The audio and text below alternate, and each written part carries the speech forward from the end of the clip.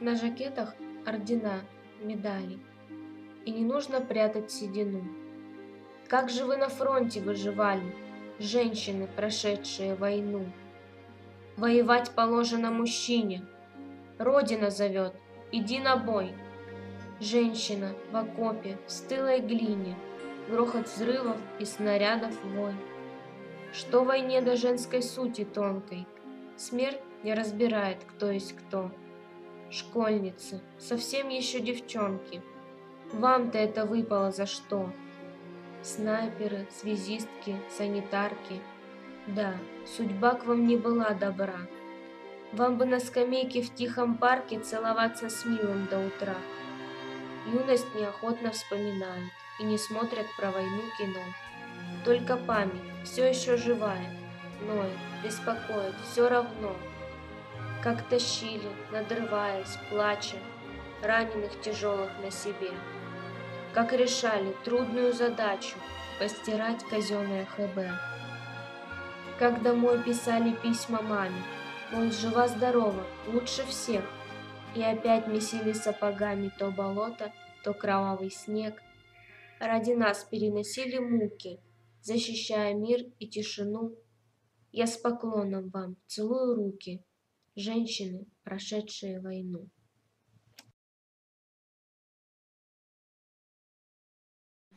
Восьмой класс, когда закончила, вот началась Великая Отечественная война. Как говорят, никогда это не забудешь, начало войны.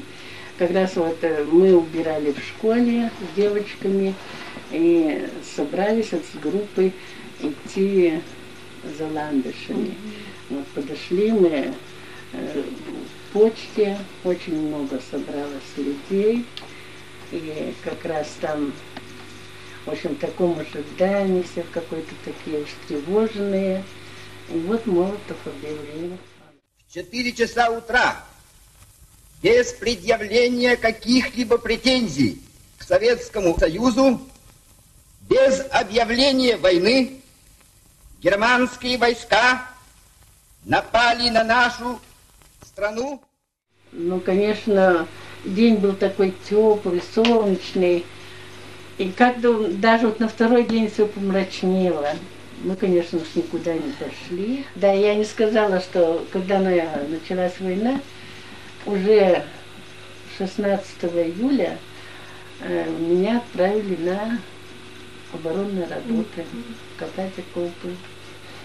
Даже, помню, ничего не сказали меня и Володю Чеснокова. Вот нас, э, мы с ним частенько вот что-то были на пару.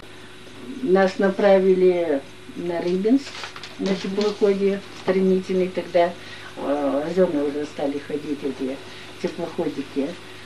Вот я помню, шли мы по Рыбинску, по брусчатке, вот такой ветер, пыль, вот какая-то сама обстановка.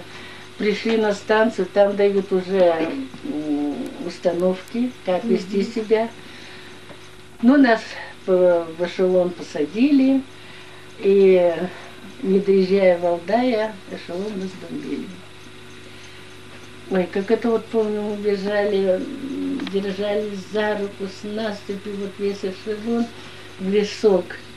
И помню, как я, ой, даже вот как трясло, так не знаю, лихорадка прямо. Ну, ну вот потом мы переночевали тут в лесочке, нас построили утром рано. И до Валдая мы шли. В 12 часов, наверное, мы прибыли, вот так по солнцу определить.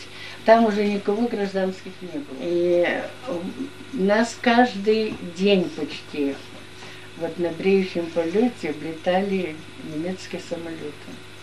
Но вот все-таки, я не знаю, не бомбили, вот, но настолько вот этих, да с этой свастикой, вначале было так страшно никаких вот где немцы, вот никакой работы, ничего, хоть бы, хоть бы нам газету прочитали, что где мы, что с нами будет дальше.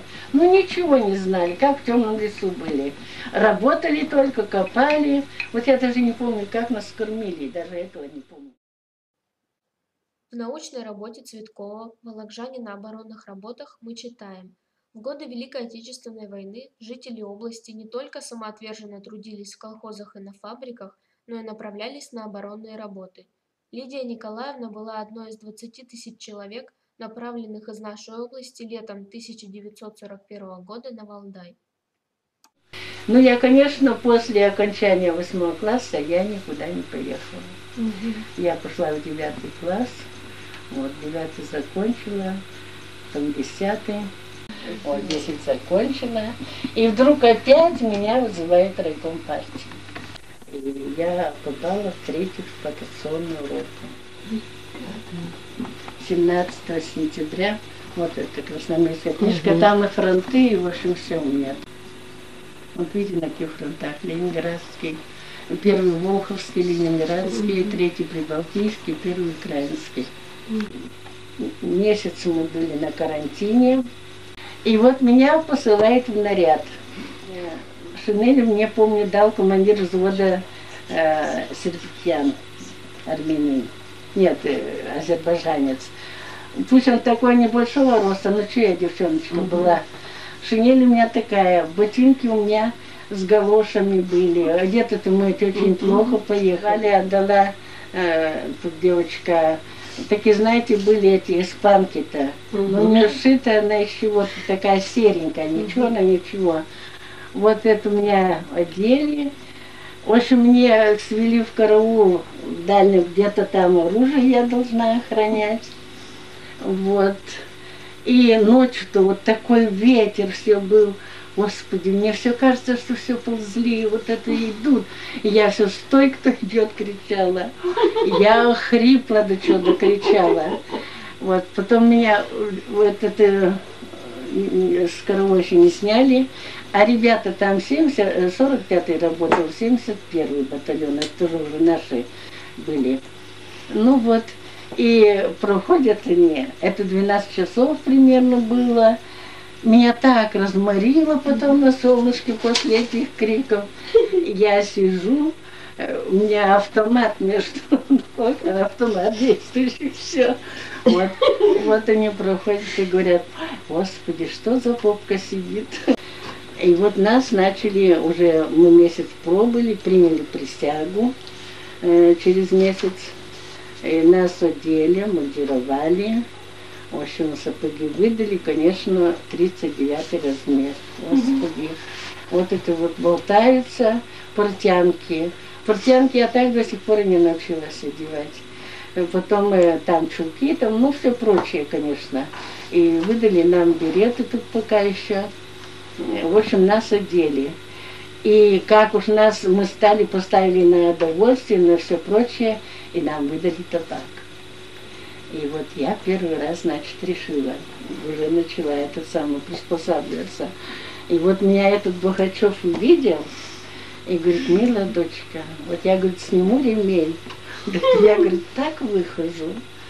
И вот я засовестилась, и больше я никогда, конечно, этого нет, так это, ну вот, такой хороший человек. Я с ним потом попала на точку Манихина. Ну и мы стали изучать вот это путейское все, такие книги, и сдавали мы экзамены. Но настолько было это страшно быть стрелочником, я на стрелочницу, значит. Господи, все аварии, все из-за стрелочников. И вот шла встречать. И я, в общем, это фонарь-то за... зажгла, и он у меня погас. Я не знаю, что делать.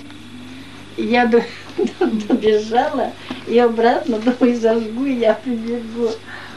Да большое это начальство-то все ехало. Ну вот, ну что, я ушла с поста. Нет, что, наказывать мне? Вот он и говорит это, что она так прекрасно сдала экзамены, и вот он меня защитил. А то кто защитил? А вот капитан, который принимал меня экзамены. Mm. Вот он как раз есть у него сейчас я вам даже его найду. Вот они в этом ездили Рейхстаг туда. Вот он вот тут вот стоит, не увеличить, говорит. Тут очень маленькие, да. Маленькие, да, говорит, не Совсем ничего не видно. Вот. Ну, в общем, вот защитил меня. Жили мы в землянках, у нас и баня была в землянке. Ну чего, все уже, вот эти деревья, даже целого нет. Настолько все шли вот тут бои. И у нас дальше дороги не было, рельсы сняты. И вот только одни таблички стоят, мины, мины, мины. Но настолько на человека вот это наготовлено было, это жутко даже сказать, что ну вот, стали чего? Мы восстанавливать. Это первые прибыли. Тут подрываться у нас без конца. В общем, только подрывы, подрывы, ну, гибнут люди. На что делать? От героев былых времен Не осталось порой имен. Те, кто приняли смертный бой, Стали просто землей травой. Только грозная доблесть их Поселилась в сердцах живых. Этот вечный огонь Нам завещанный одним Мы в груди храним. Бабушку я уже плохо помню, но какие-то моменты в памяти все-таки остались. Про войну она мало рассказывала, можно даже сказать, что ну, не любила об этом говорить. Больше спрашивала, как у нас дела, чем мы живем. Часто спрашивала, какие у меня интересы, чем мой брат интересуется. Приезжали вот сюда, встречала нас. Ну, всегда очень тепло, радушно. Никогда не было с ней скучно, всегда что-то могла рассказать интересное. Рассказывала, что 30 километров всего до Берлина не дошла. Больше рассказывала про то, как жила потом, про учеников своих. Но это было даже, наверное, более интересно, чем про войну. И всегда она нам говорила, вам это пока не надо. Подождите, мы же маленькими еще были. А, зимой она жила у нас. Приезжали, потому что этот дом довольно-таки тяжело было протопить. Вот, и вечером сидели, чай пили. Всегда помню, что в чай вместо сахара она могла положить конфету со вкусом лимона. И говорила, и сладко, и с лимончиком. Тебе сейчас столько же лет, сколько твоей бабушке было, когда ее призвали на оборонные работы. Да. Вот представь, тебе завтра надо ехать копать окопы. Я не могу передать этих ощущений. Я не представляю, как это вынесла бабушка в свои 15 лет. Ну, по-моему, это невозможно просто сказать «собирайся» и пойти домой собираться. Это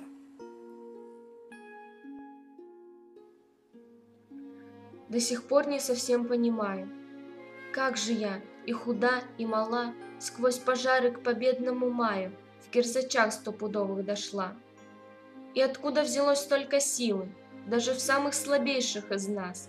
Что гадать, был и есть у России вечной прочности, вечный запас.